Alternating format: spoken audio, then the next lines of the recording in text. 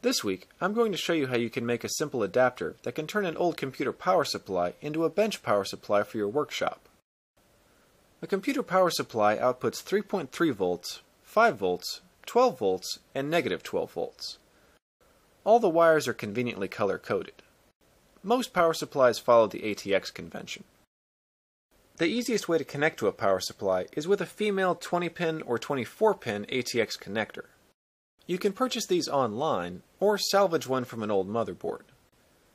To help keep track of the pins, I colored each one to match the connecting wire. Then I soldered a matching wire to the pins on the other side and insulated them with heat shrink tubing. You only need one wire of each color. Now you need to mount the connector to the side of the project enclosure. Start by cutting a slot in the side of the housing. To secure the connector in place, I used JB Weld. Combine an equal amount of both parts and mix them together thoroughly. Then apply the mixture all around the connector. Let it sit overnight to fully cure.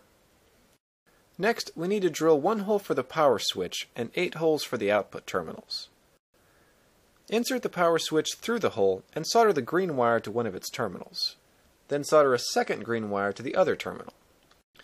Insert the output terminals into the remaining holes and tighten them in place with their screws. To connect the wires to the output terminals, I crimped a spade connector onto each one.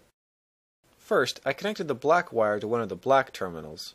Then I connected the other black terminals to the first one with short jumper wires.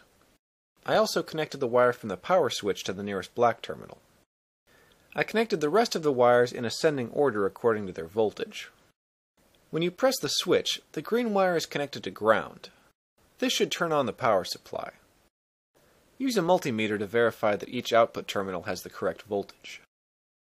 Some power supplies have a minimum output requirement.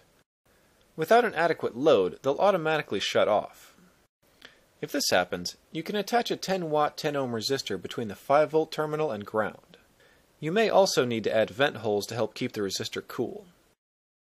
In addition to the four pairs of output terminals, you can also add other connectors.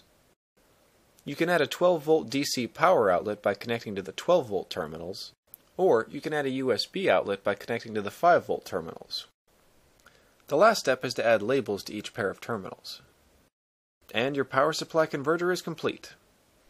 Thanks for watching, and check back soon for more DIY hacks and how-tos.